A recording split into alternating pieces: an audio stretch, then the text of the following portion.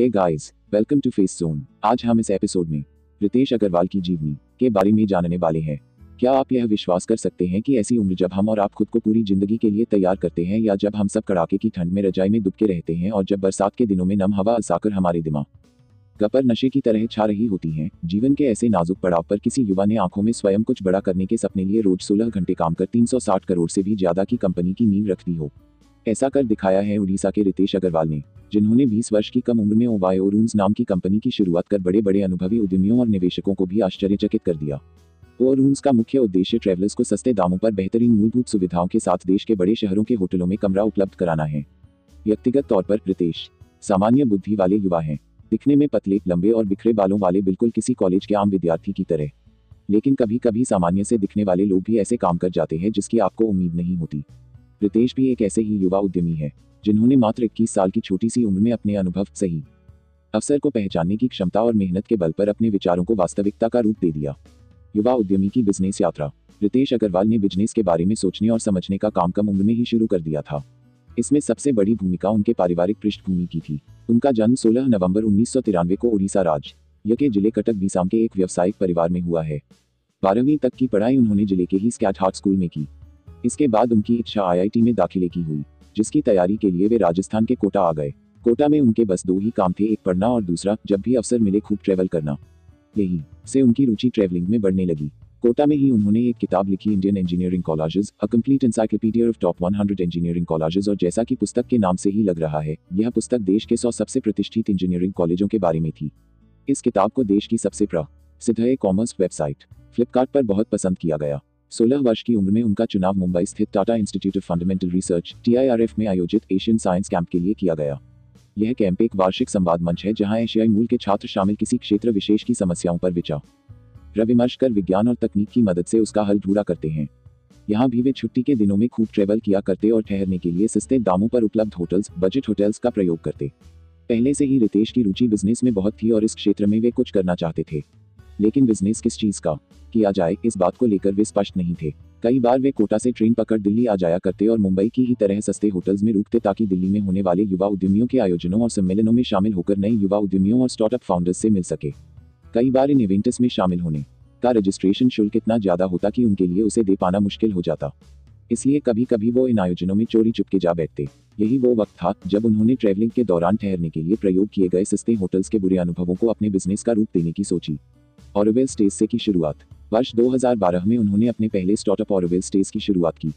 इस कंपनी का उद्देश्य ट्रेवलर्स को छोटी या मध्य अवधि के लिए कम दामों पर कमरों को उपलब्ध करवाना था, जिसे कोई भी आसानी से ऑनलाइन आरक्षित कर सकता था। कंपनी के शुरू होने के कुछ ही महीनों के अंदर उन्हें न। ए स्टार्टअप्स में निवेश करने वाली कंपनी वेंचर नर्सरी से 30 लाख का फंड भी प्राप्त हो गया। अब रितेश के पास अपनी कंपनी को आगे बढ़ाने के लिए पर्याप्त पैसे थे। उसी समय अंतराल में उन्होंने अपने इस बिज़नेस आइडिया को थेल फेलोशिप जो कि पेपल कंपनी के सह संस्थापक पीटर थेल के थेल फाउंडेशन द्वारा आयोजित एक वैश्विक प्रतियोगिता है के समक्ष रखा। सौभाग्य विश्व इस प्रतियोगिता में दसवां स्थान प्राप्त करने में सफल रहे और उन्हें फेलोशिप के रूप में लगभग छियासठ लाख की धनराशि प्राप्त हुई। बहुत ही कम समय में उनके नए स्टार्टअप को मिली इन सफलताओं से वे काफ़ी उत्साहित हुए और वे अपने स्टार्टअप पर और बारीकी व सावधानी से काम करने लगे। लेकिन पता नहीं क्यों उनका ये बिज़नेस मॉडल अपेक्षित लाभ देने में असफल रहा और उरावेल स्टेक धीरे धीरे घाटे में चला गया। वे परिस्थिति को जितना सुधारने का प्रयास करते, स्थिति और खराब होती जाती और अंत में उन्हें इस कंपनी को स्थायी रूप से बंद करना पड़ा। जब ऑरोवेल स्टेज बन गया, ओवायो रूम्स, रितेश अपने स्टार्टअप के असफल होने से निराश नहीं हुए और उन्होंने दोबारा स्वयं द्वारा अपनाई गई योजना पर विचार करने की सोची ताकि इसकी कमियों को दूर किया जा सके। इससे उन्हें यह अनुभव हुआ कि भारत में सस्ते होटल्स में कमरे मिलना या न मिलना कोई समस्या नहीं है। दरअसल का है होटल्स का कम पैसे में बेहतरीन मूल सुविधाओं को प्रदान न कर पाना। विचार करते हुए उन्हें अपनी यात्राओं के दौरान बजट होटल्स में ठहरने के उन अनुभवों को भी याद किया, जब उन्हें कभी कभी बहुत ज़्यादा पैसे देने के बाद भी गंदे और बदबूदार कमरे मिलते और कभी कभी कम पैसों में ही आरामदायक और सुविधापूर्ण कमरे में ल जाते। इन्हीं बातों ने उन्हें फिर प्रेरित किया कि वे पुनः ऑरोवेल स्टेज में नए बदलाव करें एवं ट्रेवलर्स की सुविधाओं को ध्यान में रख, उसे नए रूप में प्रस्तुत करें और फिर क्या था, वर्ष 2013 में फिर ओरावेल लॉन्च हुआ, लेकिन इस बार बिल्कुल नए नाम और मकसद के साथ। अब ओरावेल का नया नाम ओवाई ओरूम्स ओ रूम सब था, जिसका मतलब होता है, आपके अपने कमरे। वो रूम्स का उद्देश्य अब सिर्फ़ ट्रेवलर्स को किसी होटल में कमरा मुहैया कराना भर नहीं रह गया।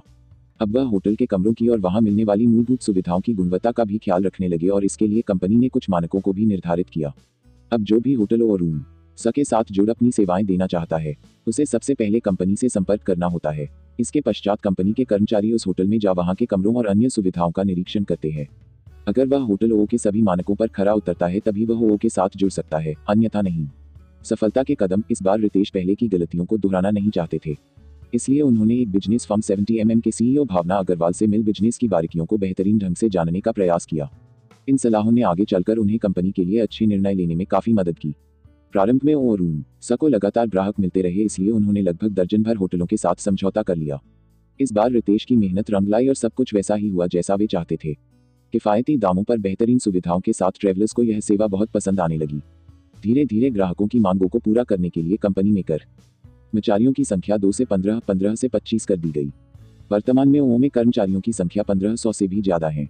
कंपनी के स्थापित होने के एक वर्ष बाद 2014 में ही दो बड़ी कंपनियों light speed venture partners LSVP एवं डीएसजी कंज्यूमर पार्टनर्स ने ओयो रूम्स में चार करोड़ रुपए का निवेश किया। वर्तमान वर्ष बीस, सोलह में जापान की बहुराष्ट्रीय कंपनी सॉफ्टबैंक ने भी सात अरब रुपए का निवेश किया है, जो कि एक नई कंपनी के लिए बहुत बड़ी उपलब्धि है। वह बात जिसने रितेश अग्रवाल को कंपनी को और आगे बढ़ाने के लिए प्रेरित किया है वह है हर महीने ग्राहकों द्वारा एक करोड़ रुपए से भी ज़्यादा की जाने वाली बुकिंग। आज मात्र चार वर्षों में ओयो रूम्स 15,000 से भी ज़्यादा होटलों की श्रृंखला 10 लाख कमरों के साथ देश की सबसे बड़ी आरामदेह एवं सस्ते दामों पर लागों को कमरा उपलब्ध कराने वाली कंपनी बन चुकी है। रितेश अग्रवाल की यह कंपनी भारत के शीर्ष स्टार्टअप कंपनियों में से एक है। इसी वर्ष कंपनी ने मलेशिया में भी अपनी से वाई देना प्रारंभ कर दिया है और आने वाले समय में अन्य देशों में भी अपनी पहुँच बनाने जा रही है।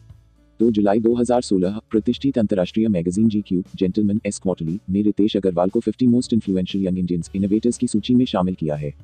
इस सूची में उन युवा इनोवेटर्स को शामिल किया जाता है जो अपनी नई सोच व विचारों से लोगों की ज़िंदगी को आसान बनाते हैं। आई होप ये इन्फॉर्मेशन अच्छी लगी होगी। हमारे साथ बने रहने के लिए सब्सक्राइब करो, साथ ही नोटिफिकेशन बेल को भी ऑन कर दो ताकि आप हमारे नई वीडियो की नोटिफिकेशन पाए सबसे पहले। वीडियो को लाइक करो, अपने फैमिली और फ्रेंड्स के साथ शेयर करो। मैं मिलूँगा आपको नेक्स्ट वीडियो पर। तब तक के लिए जय हिंद।